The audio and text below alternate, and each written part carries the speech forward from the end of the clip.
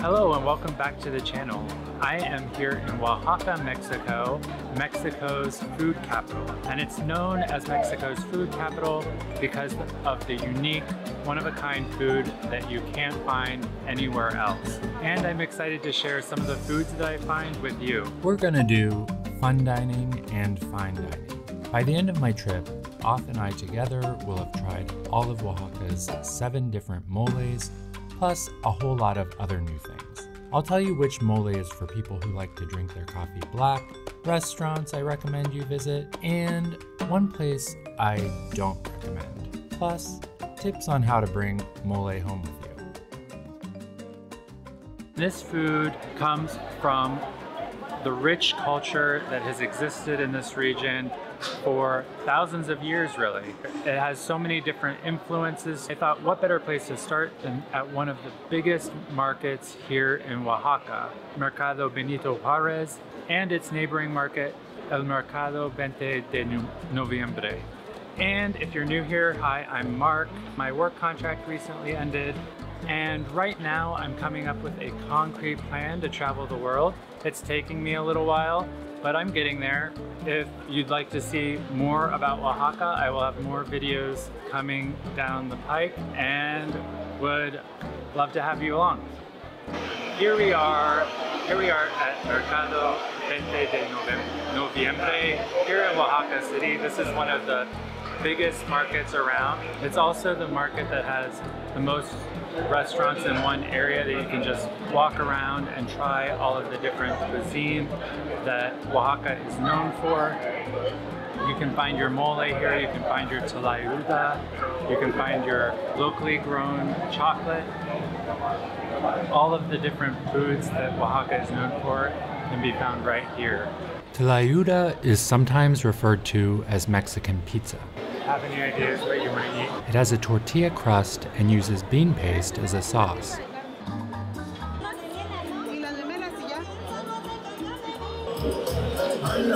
So this is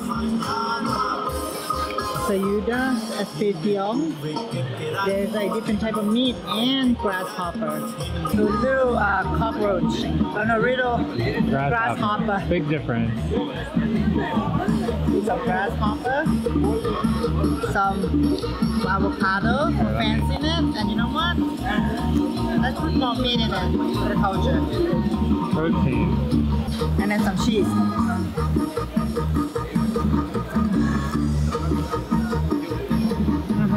Together makes sense. So stringy. There's the carnage. That's it, yeah. This is chocolate, Oaxaca chocolate. Sweet, kind of sugar caney. Slight bitterness. Mm -hmm. Rico, sí. Mm -hmm. mm. Oaxaca is known for its chocolate, so we are trying this, um, a couple of chocolate drinks, the champorado and the chocolate de le uh, leche. Uh, champorado, hot, hot. Chocolate de leche. Gracias. What are you having? So I think this is the chocolate latte con leche. More or less, it's hot chocolate, but it's very good cinnamon cinnamony chocolate. Lots of use of cinnamon here. Now it's really the dip it. Here? No, aquí está bien. What does it taste like? Is it just chocolatey? Milky. Milky? And Extra ricey. milky? Yeah. And what? Ricey? Yeah. Interesting. It goes together with the bread. And the bread is sweet a little bit. So it's sweet on sweet on sweet on sweet. The Oaxaca style. Excessive azúcar. Okay, I'm about to try the champorado. So first I'm going to sip it. They really give you like a whole bowl, so it's a little bit like having chocolate soup. Tejate is another popular chocolate drink in Oaxaca that has a long history.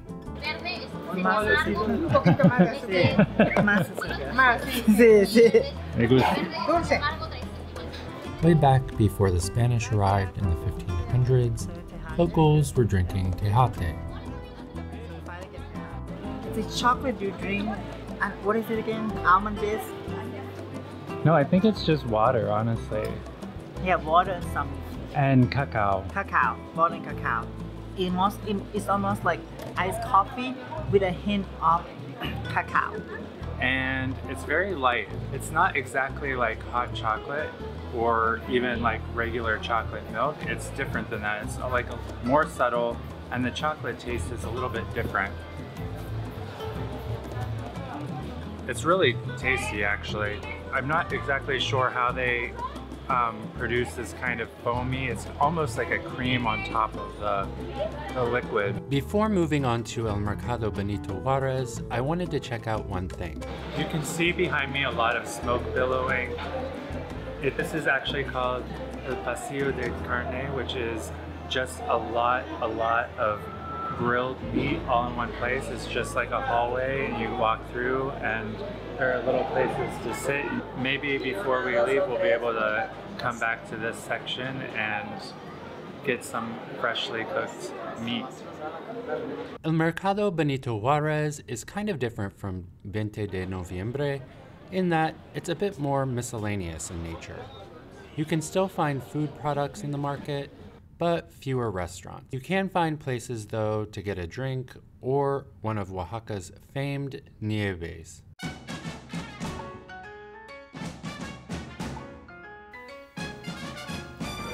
Okay, we have over here Three flavor. beso wa- oaxaqueño, beso de angel, Y crema de mezcal. Oaxaca kiss, kiss of angel, and then mezcal cream. And I've gotten tamarind, which I believe is at the bottom. Um, it's a like lighter beige color, and the other one's the Pote negro, which I'm going to have to figure out, but it's something local. Crema de mezcal. I can smell it. Mm, definitely mezcal. Interesting. You want alcohol flavor ice cream? Yeah. Basil, Oaxaca, Oaxaqueños. Now we talk about ice cream. Now we're talking. As it turns out, black zapote is a type of persimmon, a fruit that is local to Oaxaca. and it's delicious. And the zapote negro is a very strong flavor, and so really it kind of overpowers the tamarindo. You always have to think through these like flavor combinations, but sometimes it's hard when you're just like throwing a dart at the dartboard. When you're not exploring the city, Oaxaca has no shortage of good restaurants to dine at. On our trip, we made it our mission to try all seven types of moles, and we almost did, except for mole verde. Mole comes from an Aztec word that means sauce and has been in existence in some form for a very long time. Making mole is hard work. It can use anywhere from 30 to 50 ingredients and take hours to make.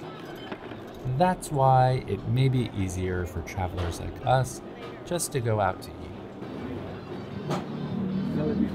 There's a little bit of sweetness to it, a little bit of bitterness to it. The first word that came to my mind is buttery. I don't know why, but it just has this um, smoothness to it that made me think of that for some reason.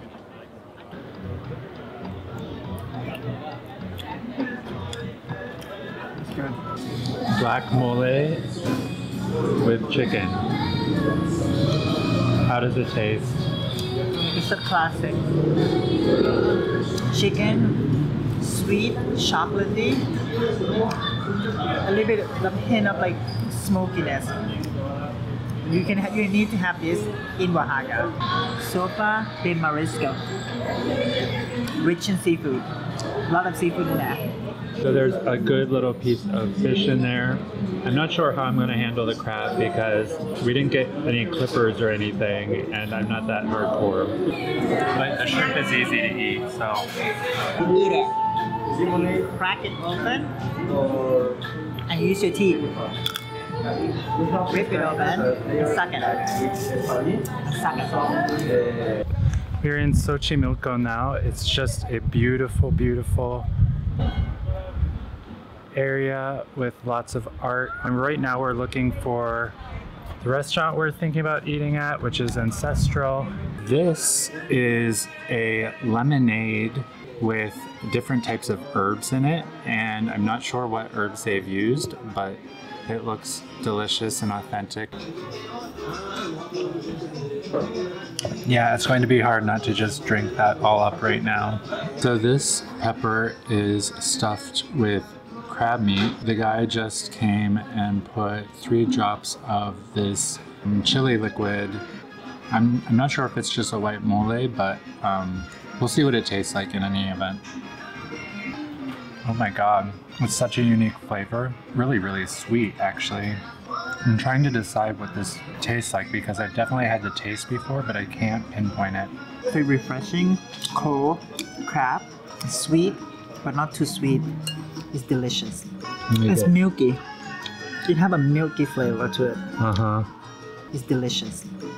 And yeah, the ingredient I couldn't figure out was pineapple. They brought our main courses, and so I have this pork belly, and this is a kind of mole called manchamanteles, and it's supposed to have a lot of herbs in it as normal, but it's also supposed to have a fruity taste to it as well. But let's try it out. It's definitely crispy outside. So many different textures all at once. The outside of the pork belly is very crispy, inside it's very soft, and the uh, sauce is very subtle. This is octopus with the red mole sauce.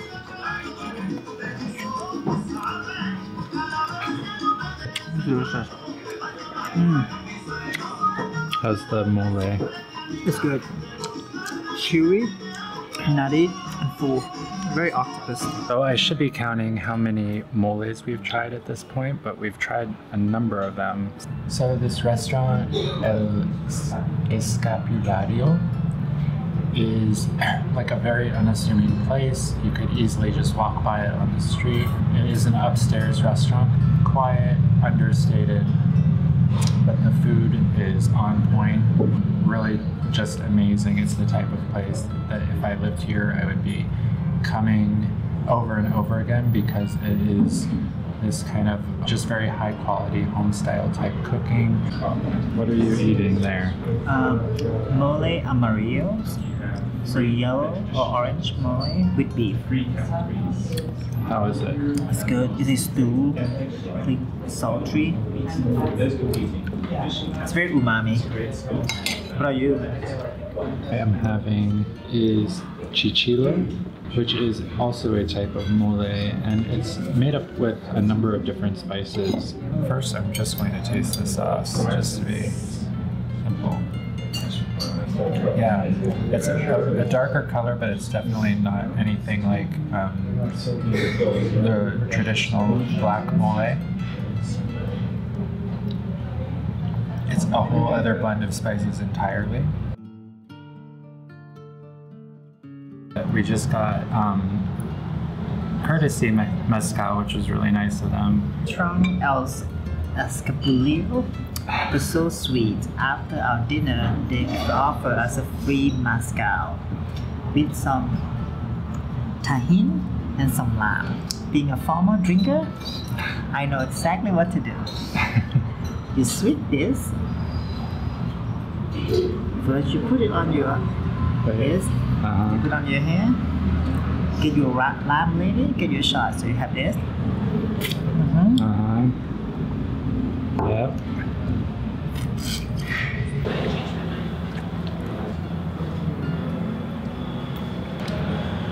Very good.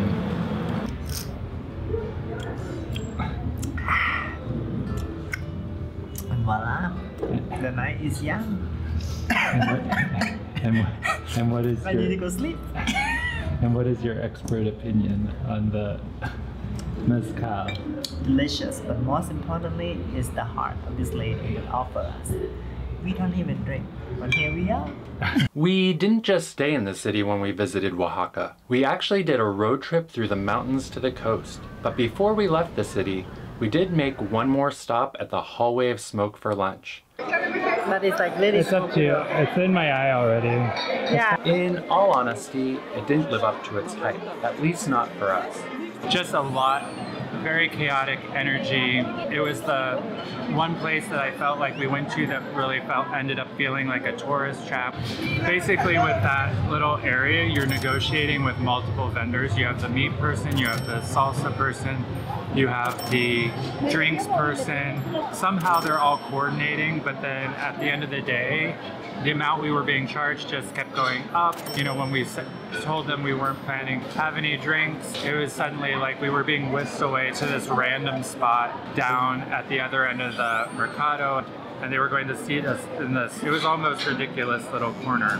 It was only because we were assertive and insisted that we go back.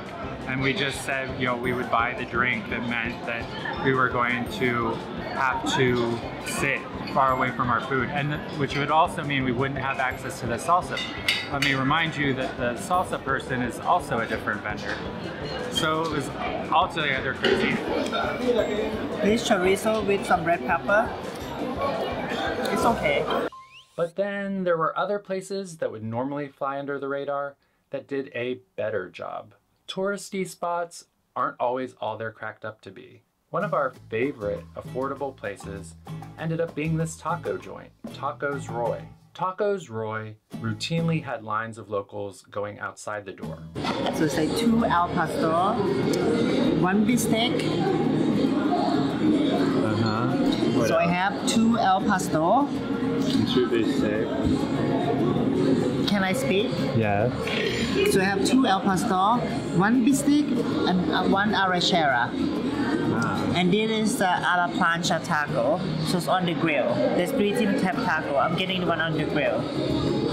Okay. And this sauce, gonna go with it. Spicy, spicy. It's always good to have a good Mexican staple. So nothing fancy with these tacos, but it is a good, reliable meal here in Mexico. Mole is incredibly time consuming to make and can require a lot of local ingredients. So many who visit Oaxaca think they can't have it until they go back to Oaxaca. But you can actually get mole paste to go, and it's easy to make once you have the paste.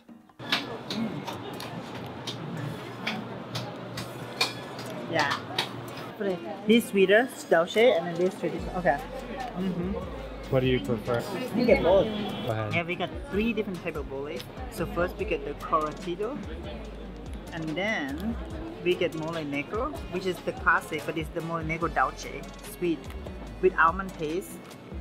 And then lastly is the specialty is a version of mole rojo is especialmente alemandro. So basically you have rojo in it. It's called honhobi. So this one is most expensive, 200. And you try it, you like it. So these are 90. Now we got a mole. Now we have to figure out how do we take it back to the US. Is it check or carry on? Because is it considered liquid?